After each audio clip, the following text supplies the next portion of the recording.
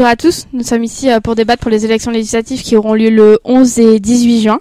Donc euh, tout d'abord, je demande à tout le monde de couper les portables ou de les mettre sous mode avion euh, pour pas faire d'interférence en fait euh, avec ben, le son.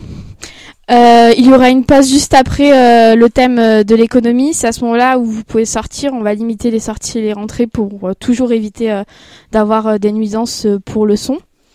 Euh, je rappelle aux candidats aussi qu'ils sont un certain nombre, donc euh, il va falloir euh, il va falloir se respecter et respecter surtout le temps de parole de chacun. et nous sommes ici pour débattre, c'est un esprit d'échange et, et d'écoute. je vais juste faire un rappel sur le Lyon Bondi Blog. c'est un média qui est associatif et participatif qui a été créé en 2008 euh, il a pour but de donner euh, la parole euh, aux personnes des quartiers dits populaires et qui ont un peu moins la parole dans les médias traditionnels. Donc, à toi. Merci Angélique. Donc nous sommes un peu plus de trois semaines après l'élection d'Emmanuel Macron à la présidence de la République française.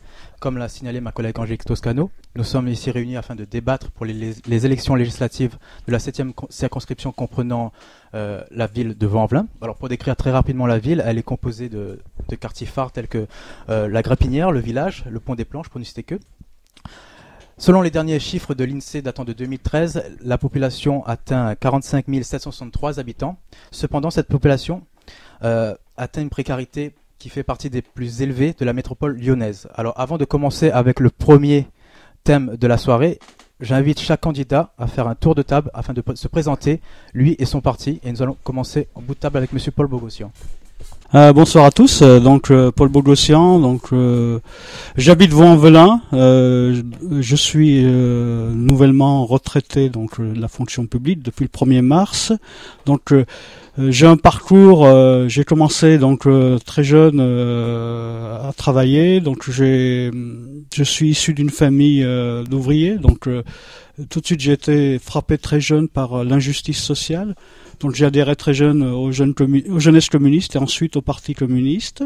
Donc j'ai travaillé dans le bâtiment une dizaine d'années. Ensuite j'ai été licencié économique. Euh, j'ai eu une période de chômage à peu près deux ans, un an, un an et demi, deux ans, et j'ai passé un concours de la fonction publique et je travaillais avant à la préfecture du Rhône. Sinon, au niveau de mes mandats, donc j'étais, j'ai fait beaucoup de syndicats et j'ai été élu donc plusieurs mandats à, la ville de Vaux-en-Velin. D'accord, très bien. Nous allons passer à Madame Le. Bonjour, je m'appelle Muriel Le Cerf, je suis euh, vaudaise depuis euh, pas loin de 30 ans maintenant. Je suis arrivée à vous un peu par hasard pour mon premier CDI en fait. Et je suis arrivée par le Mas du Taureau où j'ai rencontré des gens qui ont fait que du coup je suis restée et que je suis aujourd'hui pleinement vaudaise. Parce que c'est vrai que de premier abord comme ça, euh, j'avais hâte de rentrer dans mon ancien chez moi. Et pour avoir rencontré un jeune qui m'a invité à venir faire de l'aide aux devoirs en pied d'immeuble, et eh bien, du coup, comme ça, euh, j'ai investi le champ associatif, les centres sociaux. Et puis après, pour donner une autre dimension à mon engagement pour servir cette ville et ses habitants que je trouvais être fortement méprisés partout, eh bien, je me suis engagée. J'ai été élue euh, à Vanvelin en 2001 pour la première fois. Je suis aujourd'hui adjointe au maire euh, d'Hélène Geoffroy. Je suis candidate suppléante de Renaud Gauquelin. Nous sommes candidats pour le Parti socialiste et PRG. Euh, voilà, on reste fidèle aux valeurs euh, qui sont les nôtres, euh, notamment tant pour Renaud que pour moi, la lutte contre toutes les formes d'injustice et de discrimination. Voilà, et donc ce chemin-là, c'est aussi pour continuer de servir, pour servir nos quartiers populaires, dont on a beaucoup à tirer en termes d'enseignement. Voilà. Très bien, merci beaucoup. La parole est à vous, Monsieur Ben, bonsoir à toutes et à tous. Euh, moi, je m'appelle Pierre Didier Tchétchéapéa. Je suis donc candidat euh, titulaire sur la septième circonscription. Euh, je travaille avec ma suppléante qui s'appelle Sabrina Benayen. je suis originaire de Vaux-en-Velin. Elle est originaire de la ville de Rieux. voilà, je suis un citoyen ordinaire, issu de la société civile, soutenu par Europe Écologie, les Verts, et une organisation politique issu des quartiers populaires qui s'appelle le FCP, Force Citoyenne Populaire. Euh, voilà, je, je, je développerai plus tard, euh, sans doute euh, à travers les, débats, différentes idées. Mais pour terminer sur ma présentation, bah, l'histoire des quartiers populaires, c'est la mienne, celle de Vaux-en-Velin en particulier, mais aussi au-delà de Vaux-en-Velin. Nous sommes sur un territoire où il y a la ville de Rieux, la commune de Bron, euh, et ça tenait, enfin je tenais à le préciser puisque dans la présentation, euh, voilà, et voilà, tout simplement. Bonsoir à tous, euh, je m'appelle Daniel Albou, je suis retraité, j'étais chef d'entreprise et je suis candidat pour Debout la France. Je suis candidat depuis trois semaines, donc il y a très peu de temps, puisque le candidat prévu a déclaré forfait suite à l'alliance entre le Front National et Debout la France. Alors euh, bonjour à tous, euh, je m'appelle Thomas Preux, je suis, euh, je vis à Vaux-en-Velin et je suis enseignant à l'école primaire à Vaux-en-Velin également. je suis avec Marie-André Marsteau, le candidat de lutte ouvrière à l'élection législative dans la 7e circonscription, pour faire entendre le camp des travailleurs. Alors lutte ouvrière, c'est un courant que j'ai rejoint quand j'étais étudiant et que et que je me sentais, euh, voilà, comme je me sens toujours, révolté par, la violence de cette société capitaliste. Et c'est à l'époque où commençait euh, une nouvelle guerre euh, en Irak que j'ai rejoint ce, courant politique.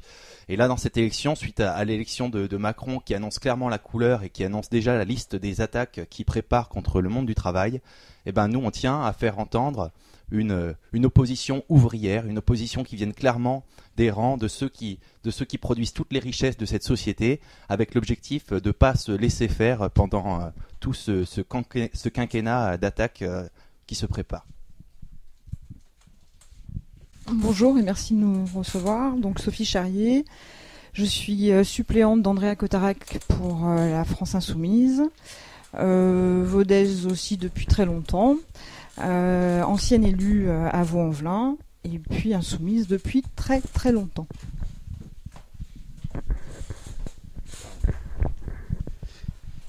Alors euh, bonjour à tous. Donc là, euh, je, suis le seul non candidat ici parmi vous. Euh, donc moi je me présente, je m'appelle Jafar Grench, puisque vous avez dit les candidats, mais je suis pas forcément candidat. Peut-être de moi-même, mais pas aux législatives pour le coup. Donc moi je m'appelle Jafar Grench. Aujourd'hui je suis euh, je suis coordinateur de la campagne euh, En Marche donc pour Anissa Kader sur la ville de Vaux-en-Velin. Donc on travaille euh, avec Anissa pour bah, dans le cadre des, des élections législatives. oui, Vaux-en-Velin, donc je suis vaudet depuis quasiment toujours. Je suis arrivé à l'âge de 4 ans, donc c'est quasiment toujours pour moi. Et euh, mon engagement euh, politique date depuis, euh, depuis peu pour le coup, puisque ça, ça date depuis à peu près un an, un an et demi. et donc j'ai adhéré au mouvement En Marche au moment où ça a été lancé. On a fait la campagne présidentielle. Et là on fait la campagne législative pour donner la majorité à notre président de la République. Très bien, nous pouvons commencer alors ce débat avec le premier thème de la soirée qui est le thème de l'économie. Ce thème, nous allons le traiter sous deux différents points bien distincts. D'une part, le chômage, d'autre part, la, précarité chez les jeunes. Concernant le chômage, en France, le chômage atteint un taux de 9,3%. Ce qui concerne Vaux-en-Velin, ce taux plafonne à plus de 20%. Alors, la population la plus touchée reste les jeunes. Alors, cela peut être dû à différents points tels que euh, le manque d'expérience, le manque de qualification auprès des entreprises, mais également les problèmes d'orientation. Alors la grande question à se poser, c'est quelle politique mettre en œuvre afin de réduire le taux de chômage chez les jeunes? Et je vais laisser la parole à Madame Muriel Le Serre. Merci. À Vaux-en-Velin, on sait combien c'est compliqué. À chaque fois, quand le chômage s'accroît, il commence par nos quartiers populaires et ça redémarre toujours un peu plus tardivement chez nous qu'ailleurs. Néanmoins, les signes sont au, dans l'amélioration quand même, puisque ces derniers temps, on a pu noter dans les quartiers en politique de la ville une baisse euh, quand même euh, non négligeable de 8% à peu près, je crois, pour ce qui est de notre jeunesse. Pour ce qui est euh, des actions qui ont été mises en place, elles, elles, trouvent leurs effets un peu tardivement aujourd'hui. Néanmoins, les signes sont là. Et euh, je crois qu'il faut continuer d'aller dans ce sens-là, notamment sur les garanties jeunes, les emplois d'avenir.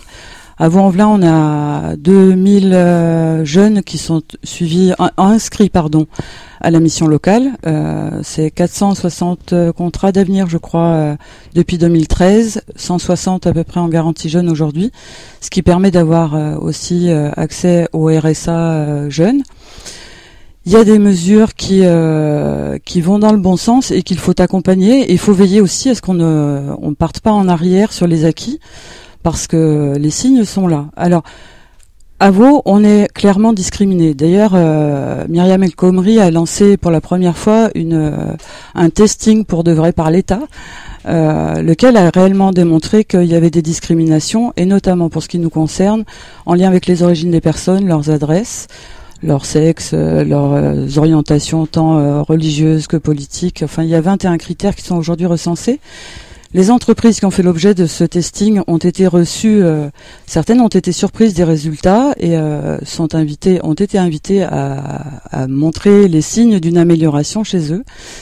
Et l'air de rien, à Vaux-en-Velin, il s'est passé un truc important l'année dernière, au mois d'avril, avec le SIEC, la loi égalité citoyenneté alors que d'autres manifestaient sur d'autres sujets. Il se passait là euh, quelque chose de très important euh, pour euh, parce que l'air de rien, sous ce quinquennat-là, on a aussi sollicité les habitants, les internautes sur l'élaboration des lois, et ça a conduit à un certain nombre de choses telles que contrat, les contrats civiques qui permettent aux jeunes de travailler, notamment pour les associations. Et on sait notamment à Vaux-en-Velin comment c'est important pour créer du lien, du vivre ensemble pour se comprendre, pour se connaître. Merci. Alors euh, au sujet du chômage, moi d'abord j'aimerais souligner que, que le chômage c'est vraiment le mal qui ronge toute la société. Il faut se rendre compte un petit peu de ce que ça signifie se, se retrouver au chômage pour, euh, pour un travailleur. C'est euh, vraiment à la fois bien sûr tomber dans la pauvreté, c'est aussi de l'isolement, c'est la perte du lien social. Plus rarement aussi, mais ça peut arriver, c'est la recherche de combines individuelles pour s'en sortir et, là ça peut être le début de, de, la, de la chute vers la délinquance. Alors moi j'aimerais quand même dire qu'aujourd'hui, même si on entend beaucoup de dirigeants politiques dire que c'est une priorité nationale, eh ben, il n'y a jamais rien qui a été fait de concret pour empêcher les le grand patronat de licencier à tout va. Alors, euh, euh, ils nous font des, des, mesures qui reviennent toujours à la même chose, c'est distribuer de grands cadeaux aux grands patrons en disant puisqu'on leur donne de l'argent, ils vont embaucher, et c'est jamais ce qui se passe. Alors, vous vous souvenez sûrement que sous euh, le quinquennat de Hollande, il y a 40 milliards par an qui sont de nouveau distribués avec le, le, CICE. Alors, bien sûr, on nous dit que ça va créer de l'emploi, mais en fait, la seule chose dans lesquelles les patrons ont le MEDEF a investi, c'est des pins. Ils ont fait des super pins, un million d'emplois. En fait, il y a zéro emploi qui ont été créés. Ils ont récupéré 40 milliards et voilà, c'est tout. Alors nous, ce qu'on met en avant, par rapport au chômage, c'est que d'abord il faut interdire les licenciements parce que parce qu'il faut commencer par arrêter cette hémorragie. Et pour euh, interdire les interdire les licenciements, c'est indispensable parce que l'emploi pour un travailleur c'est vital. Et nous on pense que l'emploi d'un travailleur c'est bien plus important que les profits des capitalistes. Alors on veut interdire les licenciements et puis on veut aussi que le travail y soit réparti entre tous parce que ça doit être un droit le, travail. Alors, on, on, peut, trouver ça euh, terriblement euh, violent, radical et tout ça, mais même, en principe, même dans la Constitution, la Constitution, elle garantit un, travail, elle est censée garantir un travail pour tout le monde. Alors moi, je suis pour qu'on répartisse le travail entre tous. Et quand on y réfléchit un petit peu, c'est logique. C'est quand, on y réfléchit, ce qui se passe dans une famille qui fonctionne ou, alors un exemple que je connais mieux dans une colocation, eh bien il y a des tâches à faire, on se les répartit entre nous et puis c'est ce qu'il y a de plus simple en, réalité. Et, il y a largement de quoi quand on regarde les profits des grands capitalistes, il y a largement de quoi payer un emploi pour tout le monde et bien entendu sans aucune diminution des salaires parce que tous les travailleurs, ils ont droit à un vrai travail, un emploi à plein temps avec un salaire complet. Oui, moi je veux, je veux d'abord vous remercier de, ce débat, de l'organisation, puisque les deux grands médias, euh, TLM et Le Progrès, censurent debout la France. Les 14 débats du Progrès, on a droit à deux débats, on est présent à deux débats. Les 14 de TLM, on est présent à deux débats. Et je pense que parmi vous, là, exactement, euh, certains, euh, c'est même pas la peine qui demandent au Progrès de, de participer. Et c'est lamentable, parce que le Progrès sélectionne, trie les candidats. C'est aujourd'hui euh, la fausse démocratie des médias, des grands médias sur Lyon. également, ce que je voudrais dire, moi je m'attendais à trouver le parti égalité justice ce soir. À première vue, il n'est pas là. C'est un parti qui a un article aujourd'hui dans le Progrès. Vous voyez qu'on n'y a pas euh, de bout la France. Et simplement, je fais un, aparté. Euh, ce parti Égalité Justice, pour nous, c'est un parti communautaire. On pose des questions. C'est un parti. le Progrès dit aujourd'hui, on peut ajouter le souhait d'un moratoire sur la laïcité. C'est un parti qui défend les valeurs traditionnelles de l'islam, donc je voulais savoir ce que c'était et je constate qu'il n'est pas là. Si vous pouviez un jour faire un débat et les inviter, leur demander de ne pas avancer masqué. C'est vraiment un parti communautaire. J'ai fini, j'ai fini là-dessus, mais je voulais le dire parce que c'est quand même très important. Alors bon, au niveau du chômage, toutes les initiatives qui sont prises sur Vaux-en-Velin sont louables, sont à féliciter, mais on ne va pas résoudre le problème du chômage par les initiatives des mairies. Ce qu'il faut, c'est sortir du carcan de Bruxelles, de la camisole de Bruxelles, sortir de la mondialisation et avoir une vraie politique patriote, patriote sur le chômage. Merci. Sur la, sur la question économique, euh, c'est une question euh, qui est fondamentale, hein, puisque ça a été dit, elle est, elle est liée aussi à celle du chômage. Euh, de ce point de vue-là, euh, Vaux-en-Velin, mais comme les autres territoires, euh, mais Vaux-en-Velin en particulier, parce que les taux de chômage, euh, et notamment la catégorie jeune, qui est la catégorie la plus importante, le taux est, est, est très important.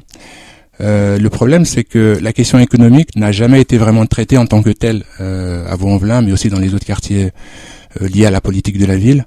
Et d'ailleurs, les, les, les, les, éléments qu'apporte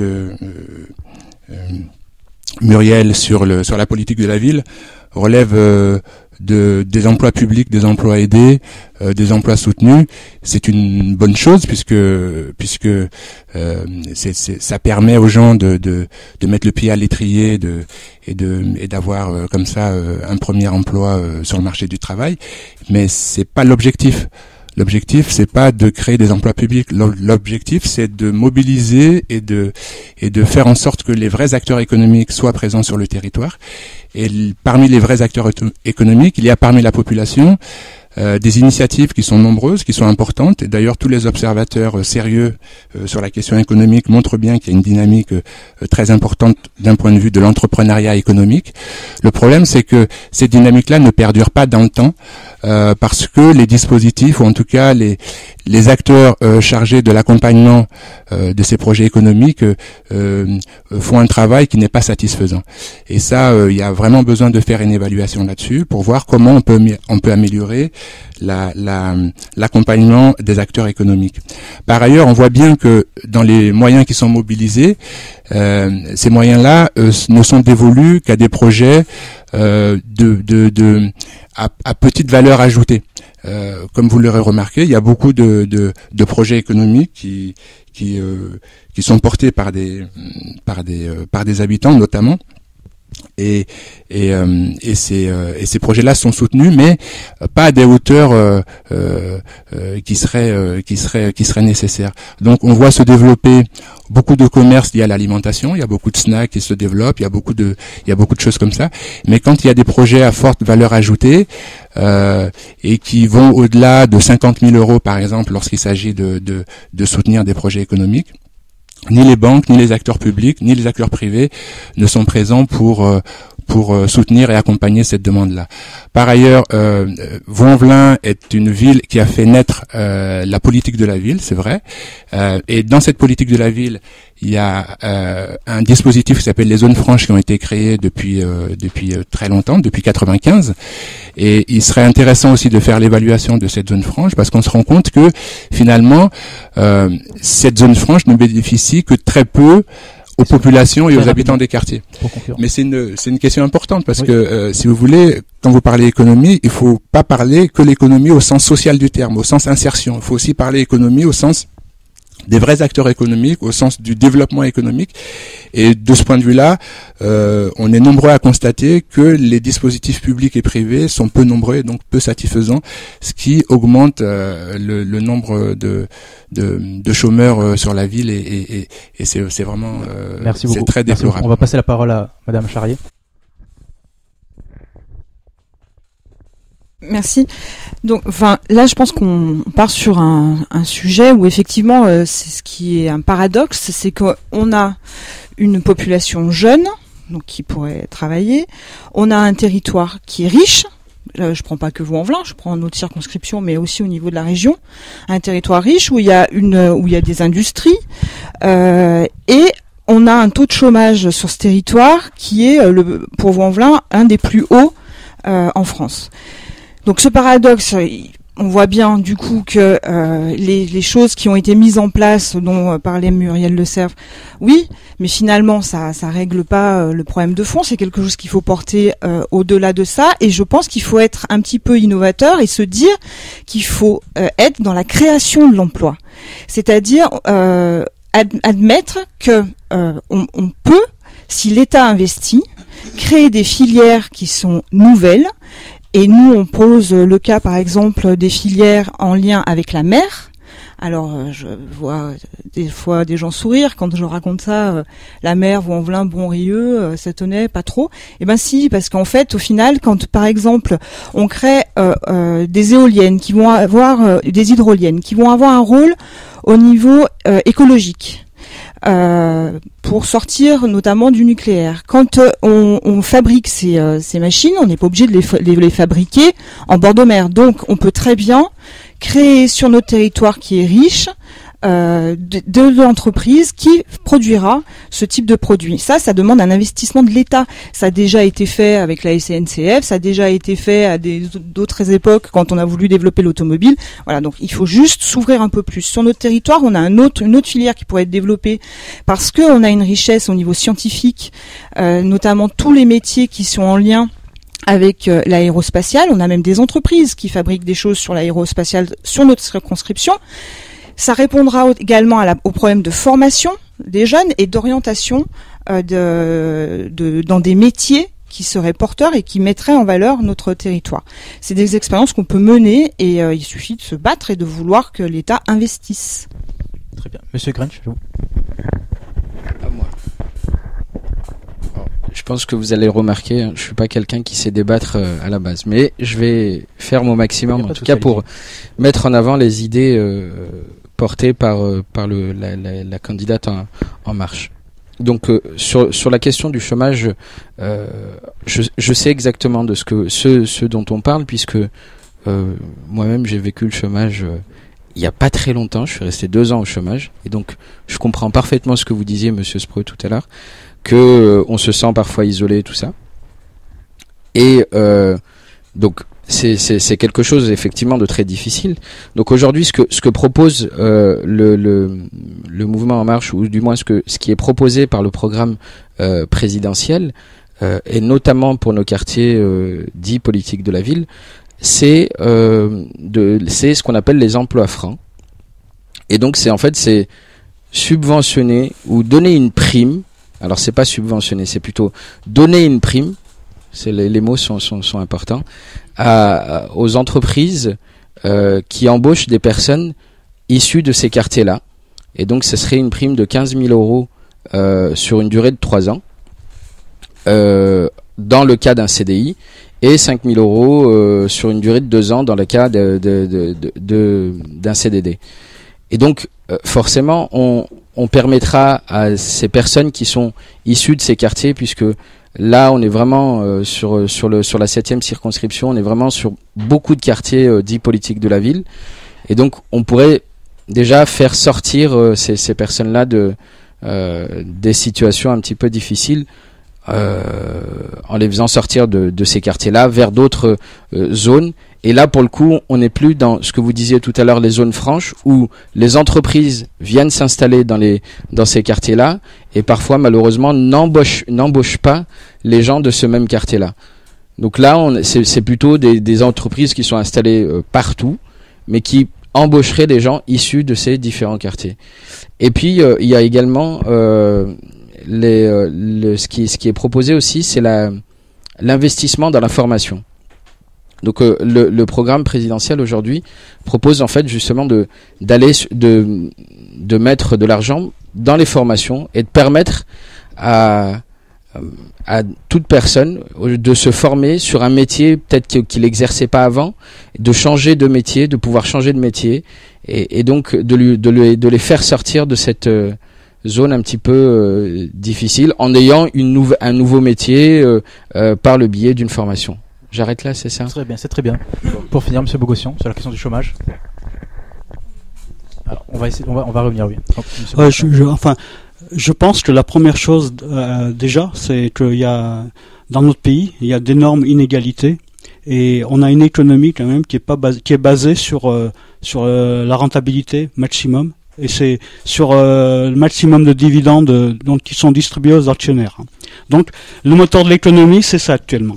Donc ça tombe bien parce qu'aujourd'hui il y a donc y a une étude hein, d'un observatoire qui reprend euh, des chiffres. Ces chiffres sont éloquents. c'est l'observatoire, l'observatoire pardon, des inégalités qui a publié hier son deuxième rapport annuel. Donc on voit quoi dans notre pays?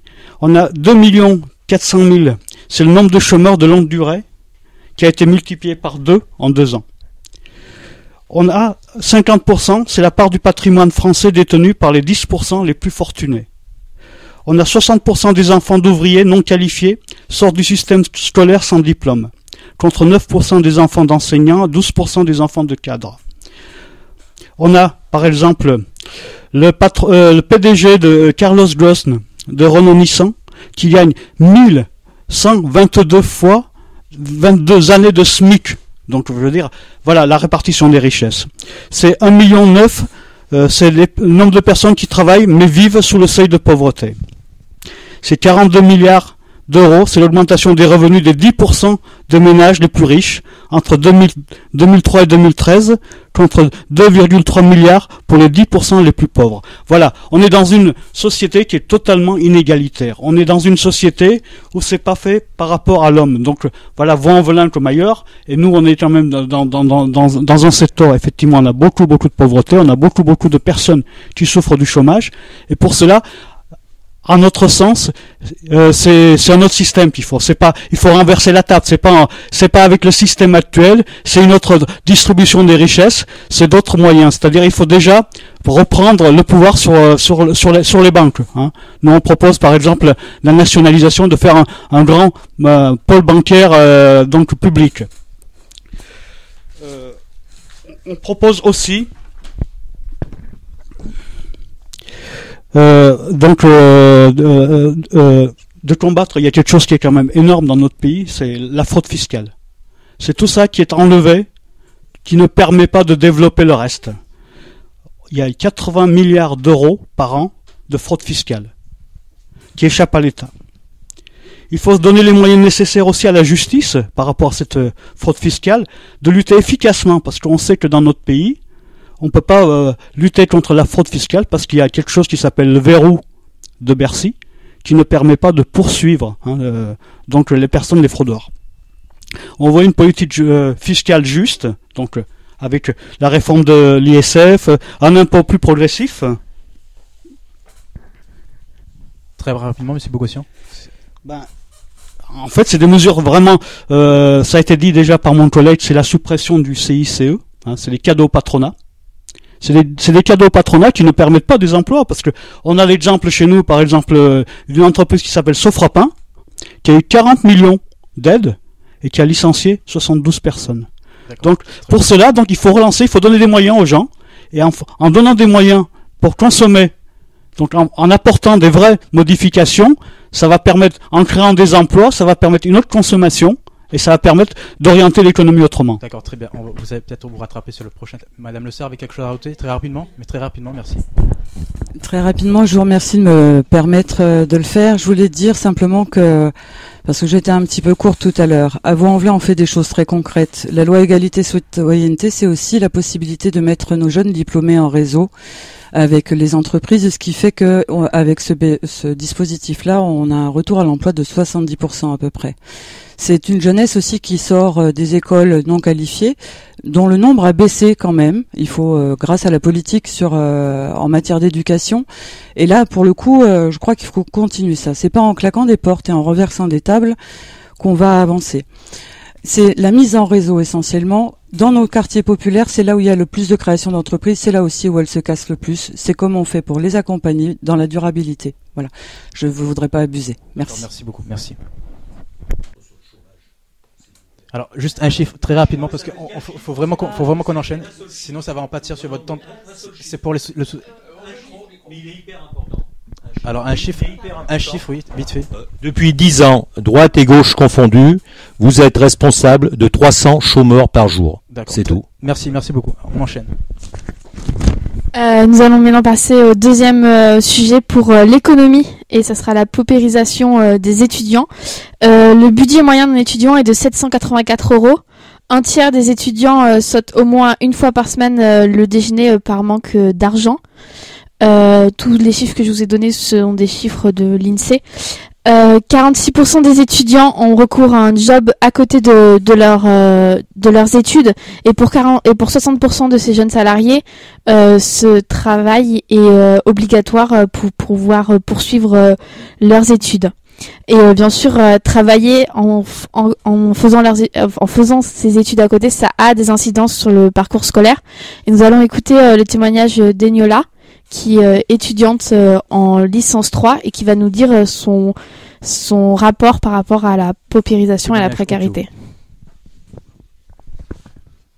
Alors, euh, oui, je me sens concernée, puisque je suis étudiante en Infocom, mais à côté de ça, je travaille dans une boutique de prêt à porter. Et enfin, quand tu es étudiante et quand tu sais à côté, à côté tu dois assumer un travail, toutes tes études, tous tes examens, euh, côté de ça, tu gagnes presque rien.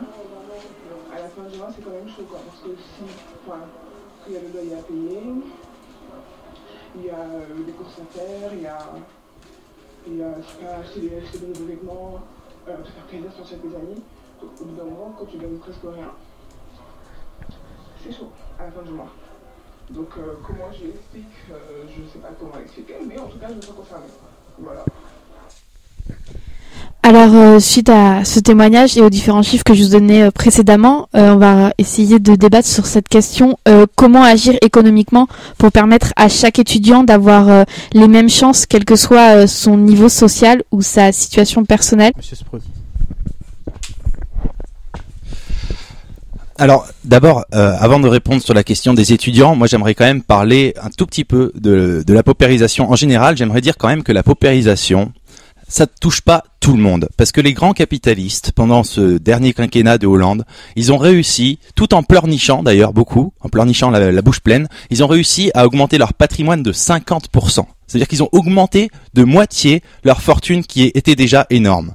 Alors ça, ça montre quand même que des richesses dans la société, il y en a vraiment beaucoup. Je voulais juste, en quelques mots aussi, réagir sur ce que j'ai entendu de, la part du, représentant du, candidat En Marche, parce que vous avez parlé euh, des, des, chômeurs, mais vous n'avez pas annoncé la principale mesure que vous préparez par rapport au chômage. Parce que euh, Emmanuel Macron, il a clairement annoncé la couleur là-dessus aussi, et ce qu'il compte faire, c'est sucrer les euh, allocations chômage à ceux qui refusent deux emplois. Alors ça, si c'est pas un grand cadeau pour les patrons, pour qu'on soit prêt à accepter n'importe quoi, euh, des salaires misérables et se faire tout couper si on si on si on si on si on n'accepte pas euh, l'emploi, eh bien vraiment, euh, voilà, c'est en fait, ils comptent pas lutter contre le chômage, contre le chômage, comptent lutter contre les chômeurs et c'est pas du tout la même chose.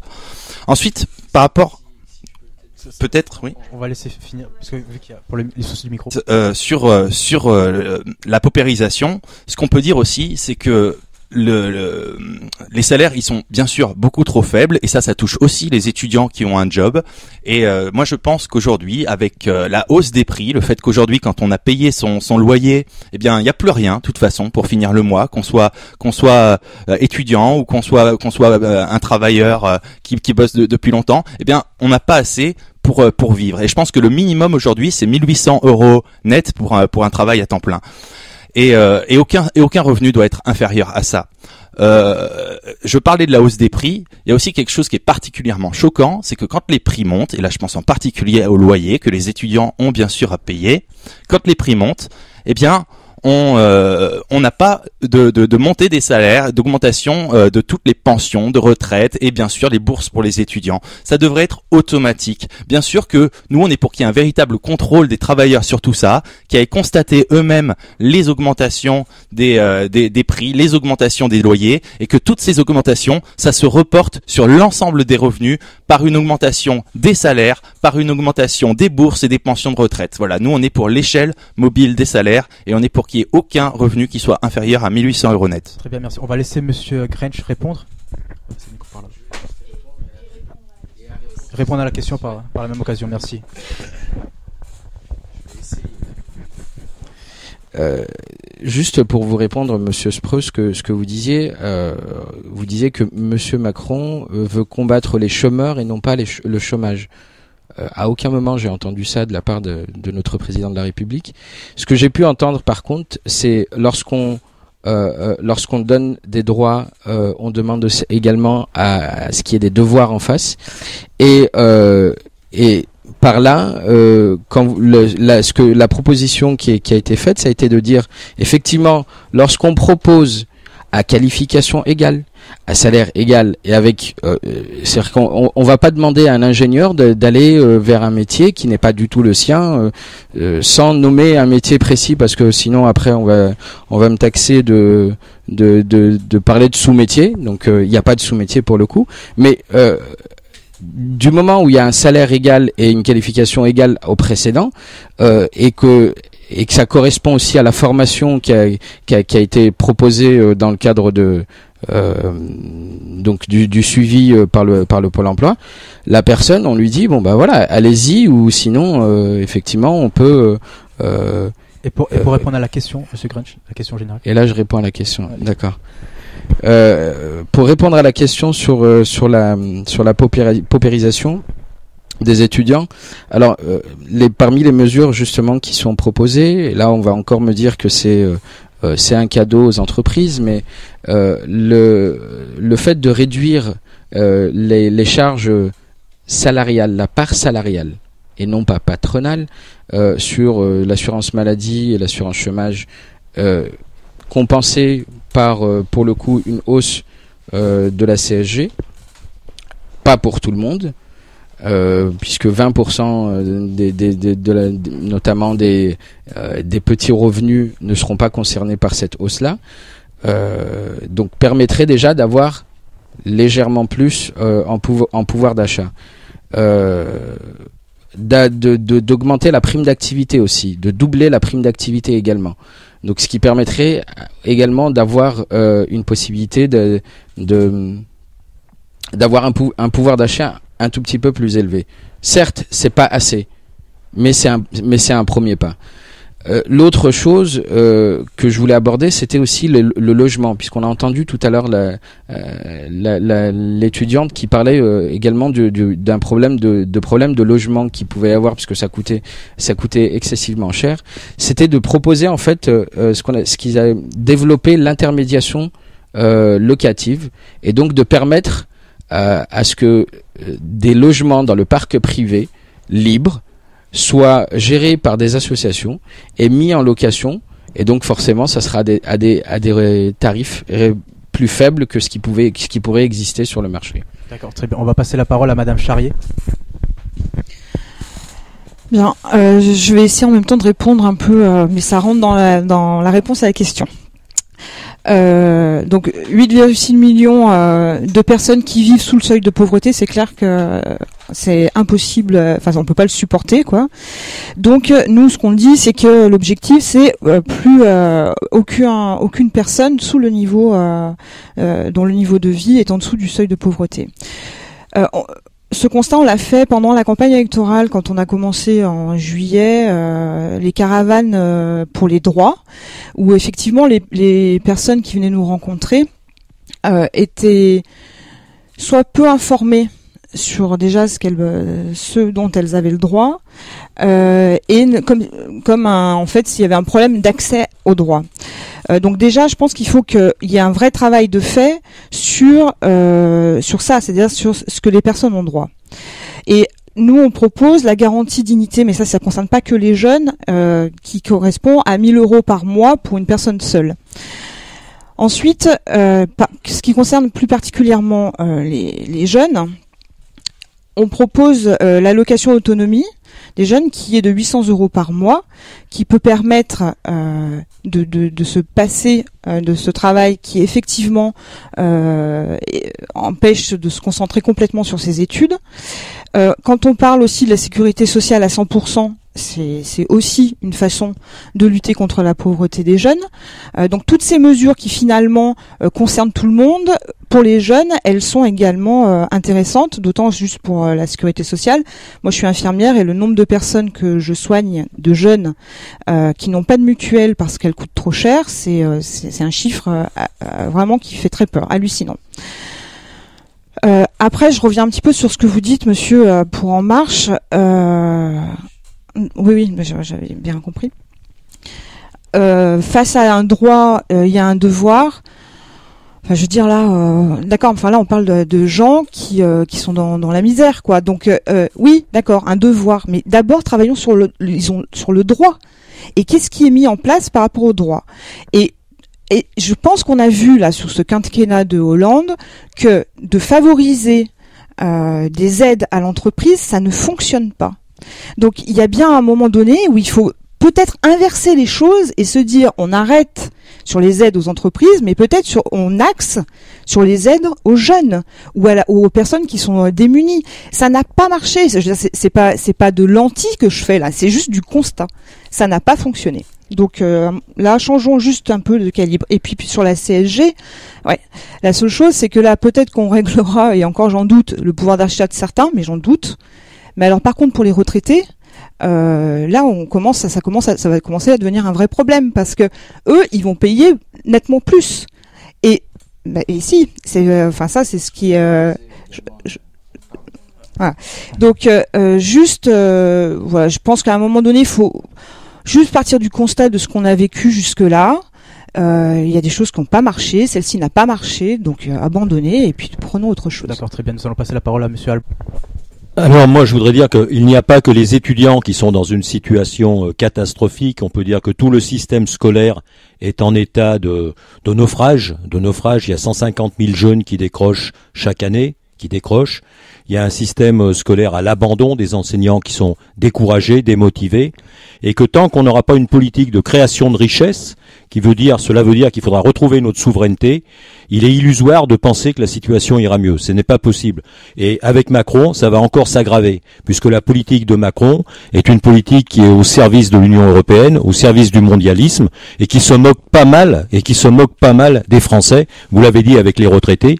Le seul but de Macron, c'est l'idéologie néolibérale, c'est-à-dire les capitaux qui circulent de plus en plus, les personnes qui sont brinque-ballées d'un pays à l'autre. Et je voulais demander à monsieur, parce qu'on n'a pas fini sur l'emploi, est-ce qu'il a l'intention d'abroger la circulaire travailleurs détachés Merci. Moi, je, je voudrais euh, revenir un peu sur euh, la raison de notre présence ici, parce qu'il faut, faut quand même que on revienne sur le sur c'est quoi un député, c'est quoi son rôle et c'est quoi sa capacité, son pouvoir. Oui, non, justement, puisque non, oui.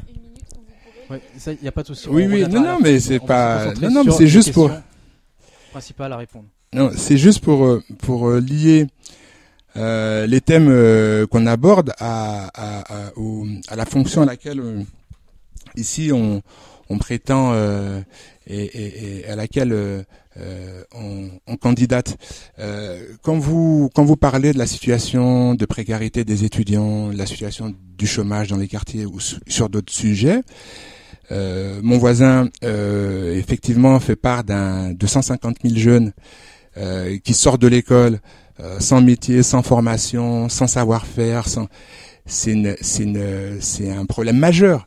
C'est un problème majeur qui est lié, euh, qui est lié à l'emploi, qui est lié au développement de ces territoires-là, qui est lié aussi bah, au, parcours euh, étudiant, puisque euh, ces jeunes-là qui étaient étudiants euh, sortent de leur cursus scolaire sans avoir abouti à quelque chose qui leur permettrait de s'en sortir. Donc on est on est dans une dans un contexte, dans une situation où toutes les choses, tous les sujets sont liés.